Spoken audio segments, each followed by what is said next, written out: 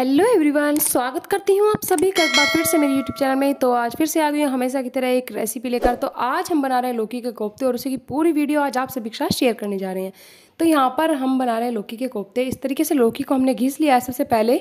उसके बाद यहाँ पर हमने लौकी का सारा जो एडवांस पानी था वो निकाल दिया है और उसके बाद हम इसमें डाल देंगे सबसे पहले बेसन, उसके बाद हल्दी, उसके बाद डाल दिए लाल मिर्च थोड़ा सा धनिया पाउडर और थोड़ा सा डाल देंगे नमक। और थोड़ा सा आप चाहें तो हींग ऐड कर दीजिए इसमें और उसके बाद इसको मिक्स कर लीजिए। इसका एक बढ़िया सा पेस्ट बनाकर तैयार कर लीजिए। देखिए, जब आप इस तरीके से लौकी के कोफ्ते बनाएँगे तो आपके लौकी के कोफ्ते हैं बिल्कुल सॉफ्ट बनेंगे। आपको सिर्फ़ ये ध्यान रखना है, आपको बेसन बहुत ज़्यादा नहीं डालना है। जब आप बेसन ज़्यादा डाल देते हैं तो उससे क्या होता है, जो कोफ्ते होते हैं, वो हार्ड बनते हैं, टाइट बनते हैं, वो हमारे कोफ्ते सब्ज़ी में टेस्ट नहीं आ पाता है। तो उसके बाद हमने कोफ्ते के लिए तैयार कर लिया पेस्ट और सरसों का तेल डाल दिया कढ़ाई में। तेल को अच्छे से गर्म होने के बाद इस तरीके से छोटे छोटे हाथ की हेल्प से हमने डाल दिए इसमें। पकौड़ी के टाइप से। ये देखिए आप दोनों तरफ़ से अच्छे से सेक कर इनको निकाल लेंगे। आप चाहें तो इनके, इनको सॉस के साथ इस तरीके से भी खा सकते हैं। ये लौकी की एक तरह से पकौड़ियाँ बन जाती हैं।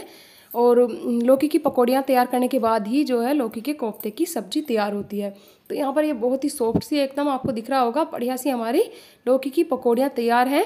कोफ्ते मतलब तैयार हैं सब्ज़ी बनाने के लिए। अब इनकी सब्ज़ी बनाने के लिए हम ग्रेवी के लिए प्याज घिस लेंगे। देखिए, टमाटर तो बहुत ज़्यादा मतलब महँगे हो रहे हैं। सभी को पता है तो टमाटर हम यहाँ पर नहीं डाल रहे हैं। हम डाल रहे हैं सिर्फ़ प्याज। तो यहाँ पर प्याज घिस लेंगे बढ़िया से। उसके बाद तेल को अच्छे से गर्म होने के बाद हमने डाल दिया है जीरा। जीरे को चटकने के बाद उसमें डाल दी है प्याज। आप चाहें तो आप इसमें थोड़ा सा लहसुन का पेस्ट डाल लीजिए, वो भी अच्छा लगता है। उसके बाद इसमें डाल देंगे कश्मीरी लाल मिर्च, हल्दी। और थोड़ा सा नमक ऐड कर देंगे।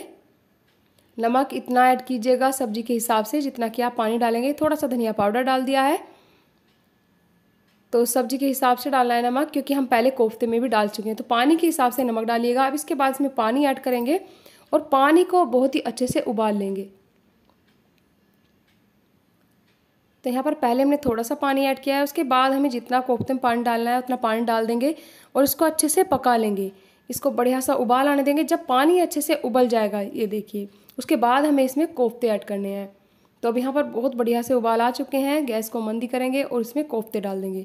और अब धीमी धीमी आँच पर इसे कम से कम पाँच से दस मिनट के लिए पकने देंगे, जिससे कि जो ये रेशा है हमारा कोफ्तों के अंदर तक चला जाएगा और कोफ्ते हमारे बहुत ही बढ़िया से एकदम तैयार होंगे। तो ये देखिए, उबाल आ रहे हैं बढ़िया से। अब ये देखिए, कोफ्ते हमारे तैयार हो चुके हैं। इतना पानी आप डालेंगे, तभी आपकी सब्ज़ी परफेक्ट बनेगी।